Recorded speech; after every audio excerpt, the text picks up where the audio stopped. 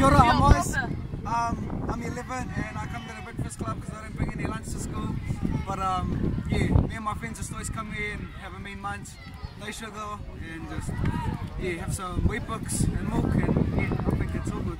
Yo, I'm Isaac. Um, I come to the breakfast club like two times, maybe like once every day.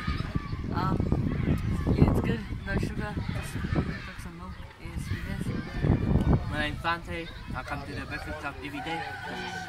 Healthy, no sugar, and I think it's all good because it fills you up. Can someone tell me about the baked beans? Oh yeah, and so? some days we have baked beans, and um, I think that's good because it's Baked not beans on bread. Bread as well. yeah, baked beans and bread, and that's yum because having Weet-Bix all the times, Good way to start your morning. yeah. All right. So, the, what about the staff here, the, um, the crew here at Abundant Life? Have they guys helped you guys change the way you guys are eating? Yeah. Yeah. They like put the Weet-Bix Helps in you through the day as well. and everything. Yeah. So, how does it help you through the day?